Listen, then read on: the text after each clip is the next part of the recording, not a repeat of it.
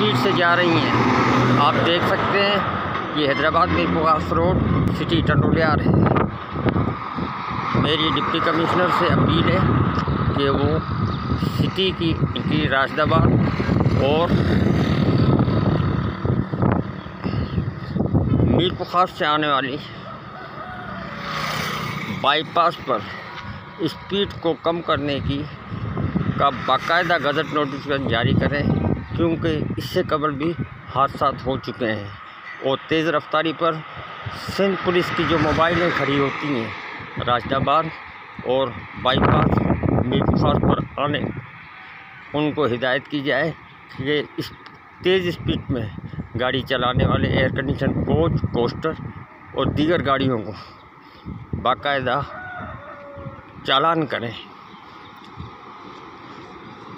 Old साफी राजा सलम खान दादा टनो टनोलिया सिंध पाकिस्तान। देखते जाओ और शर्माते जाओ। अस्सलाम वालेकुम।